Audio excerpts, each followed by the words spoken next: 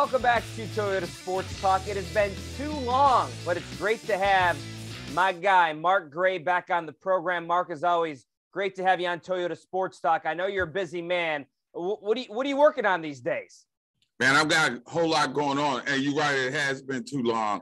Uh, and a lot of has to do with the fact that I'm working like this. Uh, my latest venture, Smash Sports, Smash Entertainment. We produce the HBCU Sports Nation. So check us out on YouTube. We also got a, a sports gaming show called The Sure Shot. And then, of course, uh, my friends over at the Contender have uh, blessed me with their app. So I got a week of local DC sports talk that I'm breaking you off with every week. So uh, that the writing is still going on. I appreciate your grind, respect your grind, but always great to chop it up with you for about 10 minutes here. And I want to kind of, I know you love your baseball and, and you've always been a big baseball guy. How disheartening is it to kind of view what's been going on between the players union and the owners? And do you see any end in sight? Uh, the back part of it, no. And I don't like the fact that there's a, a lockout, which is sort of exacerbated the process of the players not budging off of any uh, reason to negotiate. I think what they're feeling right now is that baseball is trying to strong arm them and win the court of public opinion. But what they're learning is the way that they're doing that by not even coming with a counter proposal as a olive branch is really not making them look good. So you put uh, millionaires in a fight with billionaires. Rarely, if ever, do the billionaires come out looking good. See NFL.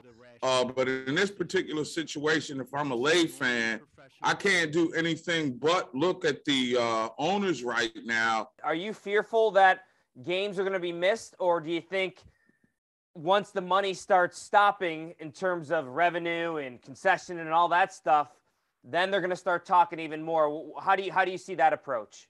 I think that the billionaires have more money to outlast the millionaires, so yeah. they can take the financial hit, but nobody wins in that situation.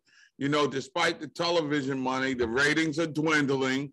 And quite frankly, it's difficult to get the butts in the seats, which is that daily generated revenue that offsets the cost of operations. So uh, owners are going to feel it.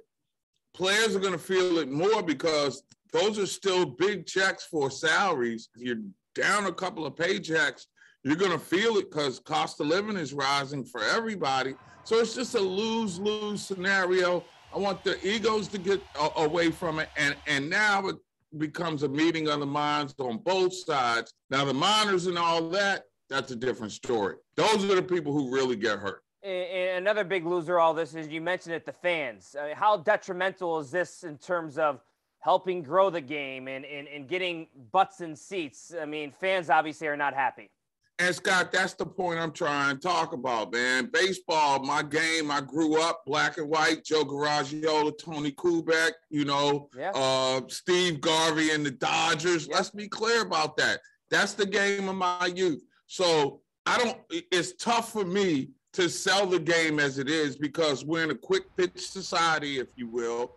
Uh, the young generation wants it, it's snippets and fast. It's hard to connect. You're going to take the game away. You're not building the brand of American athletes, particularly African American athletes. So that's a significant fan base as it is right now. Baseball sustains you when your team is in the playoffs during the summer, and we don't have that. And coming out of a pandemic, people got to step outside their own special interests and realize how turning your back or giving a side eye to the fans means they're going to turn their back and never come back. I want to get your uh, thoughts on HBCU, a, a, very special game coming up this weekend. Howard University, the men's basketball program, going to be in the mix. Uh, for our viewers that may not know what's going on, fill us in, Mark.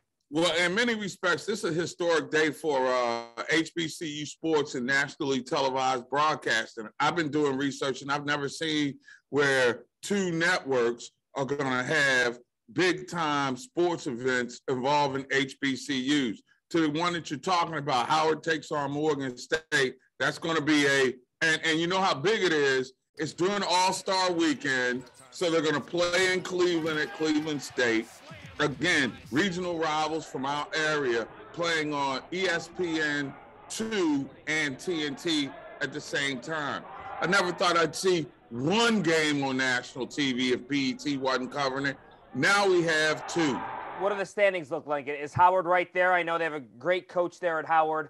Uh, wh- where are they at in terms of the MEAC? And, and obviously, the MEAC tournament's going to decide who goes to the NCAA tournament. But are they are they a strong contender? I think that Howard right now is a very young team that falls into that category. If I'm a contender, like North Carolina Central, like Norfolk State, I don't want to see them come a, a month from now. And then you've got the HBCU Legacy Bowl, which is the Black College football equivalent to the Senior Bowl. Okay. So it'll go to addressing the lack of, there were no HBCU players in the Super Bowl this year. There were no HBCU players drafted the last couple of years. At least you have a platform now for players like Darius Leonard of the Indianapolis Colts and Tarik Cohen of the Chicago Bears and formerly Antoine Bethea of Howard University to display their wear. So it's a it's a huge day for HBCU sports. Glad to see teams from around the way who are uh, participating on these platforms. Well said there, Mark Gray. Always appreciate your time. Thanks for uh, joining us on Toyota Sports Talk. Hey, thanks for having me, bro. We got to get you on the contender real soon. Anytime, my guy. Appreciate you. Much more to come right here on Toyota Sports Talk. Stay with us.